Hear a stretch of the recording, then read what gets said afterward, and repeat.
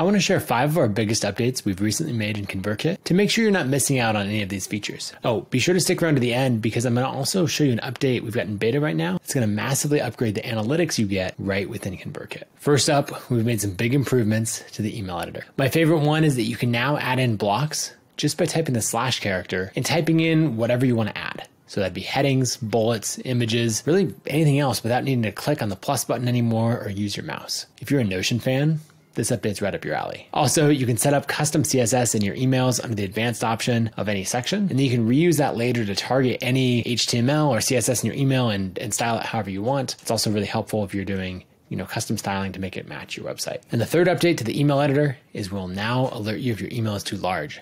If your email is over 100 kilobytes, maybe that's because you have a lot of images or other media, it might get clipped, which could affect deliverability. So now we'll notify you if your email is over that size. And then we also have better functionality to make the email smaller to stay under that size. One quick tip is to resize your images just go under the advanced and you can choose optimize on any image. We've also made a big update to paid recommendations. Well, paid recommendations are a super simple way to get paid by other creators for recommending them to your new subscribers. Some feedback we got was that some of you don't even know where to start when using paid recommendations. You didn't know how to set it up and it's hard to go back and forth between ConvertKit and SparkLoop to manage everything. Now you can set up and manage your paid recommendations right within ConvertKit. It's found under the Earn tab at the top, and from there you can find creators who are willing to pay you to promote them to your audience. You can filter and sort based on how much they're willing to pay, and you can see the requirements needed for each recommendation. So it's the perfect time to start earning from paid recommendations if you haven't already. But that's not the only update we made to recommendations. We heard from some of you that you really wanted to use the recommendations feature, but you use a third party form that doesn't yet support the modal. Well, we now have a recommendations page that you can redirect new subscribers to. And even if your third party form does not work with the recommendations pop up modal, but you also don't want to embed code snippets on all the pages that host your third party form,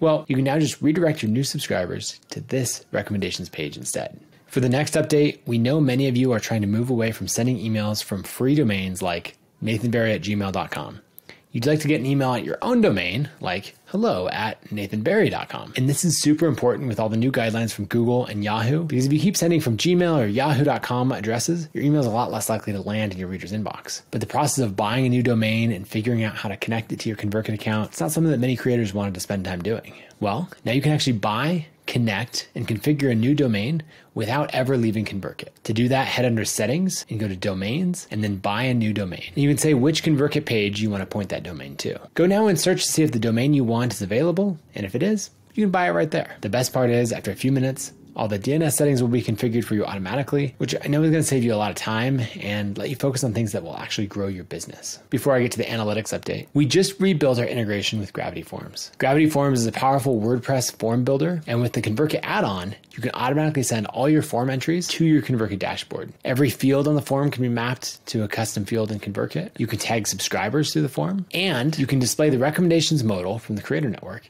after every form submission. So check it out if you're using Gravity Forms. And lastly, our big analytics update that's in beta it's called ConvertKit Insights. Insights gives you a comprehensive look at your best acquisition channels so you can see how your organic search or paid advertising is working, which piece of content is converting best for you, and more. You can get a month to month view of which segment of your audience is engaging most with your content. You can find out who your top customers are, how long it takes to acquire a customer, and which promotion emails are generating the most sales. And you can see how long it takes for a subscriber to become a customer, which can help you see where you may need to change your funnels. Insights is currently available to users on the Creator Pro plan. Which feature are you most excited about? Let us know in the comments, and thanks for watching.